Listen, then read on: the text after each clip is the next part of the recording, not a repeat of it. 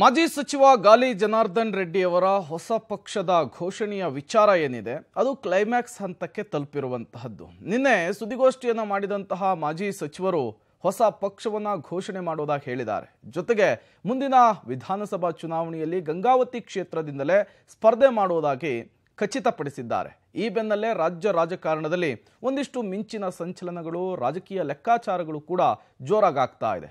ಹಾಗಾದ್ರೆ ಗಾಲಿ ಜನಾರ್ದನ್ ರೆಡ್ಡಿ ಅವರ ಹೊಸ ಪಕ್ಷದಿಂದಾಗಿ ರಾಜಕೀಯ ಲೆಕ್ಕಾಚಾರಗಳು ಏನಾಗಬಹುದು? ಬನ್ನಿ ನೋಡೋಣ. ರಾಜ್ಯ ರಾಜಕೀಯದಲ್ಲಿ ಜನಾರ್ದನ ರೆಡ್ಡಿ ಸೆಕೆಂಡ್ ಇನ್ನಿಂಗ್ಸ್ ಹೊಸ ಪಕ್ಷದೊಂದಿಗೆ ಹೊಸ ಕ್ಷೇತ್ರದಿಂದ ರೆಡ್ಡಿ ಅಖಾಡಕ್ಕೆ.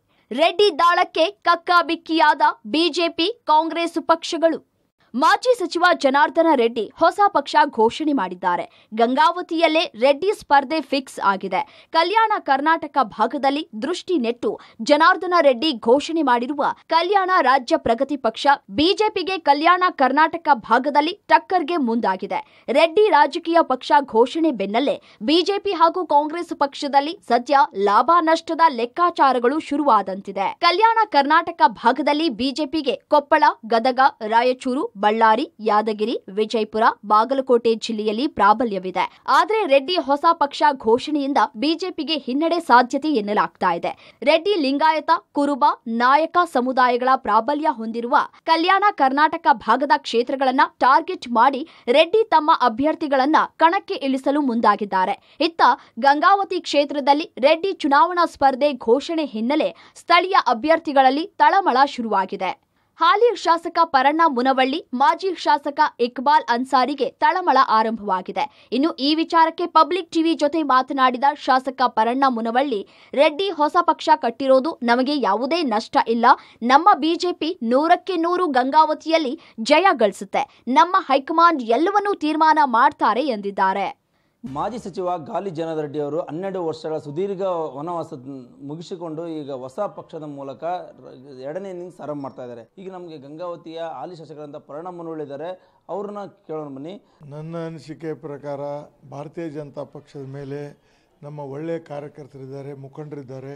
ಯಾವುದೇ ರೀತಿಯಲ್ಲಿ ಪರಿಣಾಮ ಬೀರುವುದಿಲ್ಲ ಅನ್ನುವಂಥ ಮಾತನ್ನು ನಾನು ಹೇಳಲಿಕ್ಕೆ ಬಯಸ್ತಾ ಇದ್ದೀನಿ. ಯಾಕಂದರೆ ಹಿಂದೂ ಸಹಿತ ಎರಡು ಸಾವಿರದ ಎಂಟರಲ್ಲಿಯೂ ಸಹಿತ ತ್ರಿಕೋನ ಸ್ಪರ್ಧೆ ನಡೆದಾಗೂ ಸಹಿತ ಎರಡು ಸಾವಿರದ ಎಂಟರಲ್ಲಿ ನಾನು ಶಾಸಕನಾಗಿ ಆಯ್ಕೆಯಾಗಿದ್ದೆ. ಗಂಗಾವತಿಯಲ್ಲಿ ರೆಡ್ಡಿ ಸ್ಪರ್ಧೆ ಮಾಡುವುದರ ಬಗ್ಗೆ ಇದುವರೆಗೂ ಗೌಪ್ಯವಾಗಿಟ್ಟಿದ್ದ ರೆಡ್ಡಿ ಈ ಬಗ್ಗೆ ನಿನ್ನೆ ಘೋಷಣೆ ಮಾಡಿದ್ದಾರೆ. ಇದರಿಂದ ರೆಡ್ಡಿ ಅಭಿಮಾನಿಗಳಲ್ಲಿ ಸಾಕಷ್ಟು ಖುಷಿ ತಂದಿದೆ. ಸದ್ಯ ಜನಾರ್ದನ ರೆಡ್ಡಿಯನ್ನ ಸ್ವಾಗತಿಸಲು ಅಭಿಮಾನಿಗಳು ಕಾದು ಕುಳಿತಿದ್ದಾರೆ. ಜನಾರ್ದನ ರೆಡ್ಡಿಯವರು ನಮ್ಮ ಕ್ಷೇತ್ರದಲ್ಲಿ ಸ್ಪರ್ಧೆ ಮಾಡ್ತಾ ಇರೋದು ತುಂಬಾ ಖುಷಿಯಾಗಿದೆ. ಅವರನ್ನ ಅಭೂತಪೂರ್ವವಾಗಿ ಗೆಲ್ಲಿಸಿಕೊಡ್ತೇವೆ ಅಂತ ರೆಡ್ಡಿ ಅಭಿಮಾನಿಗಳು ಹರ್ಷ ವ್ಯಕ್ತಪಡಿಸಿದ್ದಾರೆ. ಮಾಜಿ ಸಚಿವ ಗಾಲಿ ಜನರೆಡ್ಡಿ ಅವರು ಗಂಗೋತಿ ನಗರಕ್ಕೆ ಬರ್ತಾ ಇದ್ದಾರೆ, ಅವರಿಗೆ ಸ್ವಾಗತಿಸುತ್ತಾ ಅವರು ಬರುವುದರಿಂದ ಅಭೂತವಾದ ಬದಲಾವಣೆಗಳಾಗ್ತವೆ.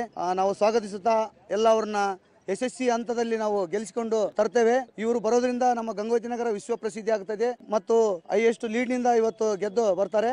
ಜನಾರ್ದನ ರೆಡ್ಡಿ ರಾಜಕೀಯ ನಡೆ ಘೋಷಣೆ ಮಾಡಿದ್ದೇ ತಡ ಗಂಗಾವತಿ ಕ್ಷೇತ್ರದಲ್ಲಿ ರಾಜಕೀಯ ಚಟುವಟಿಕೆಗಳು ಗರಿಗೆದರ್ತಾ ಇದ್ದಾವೆ.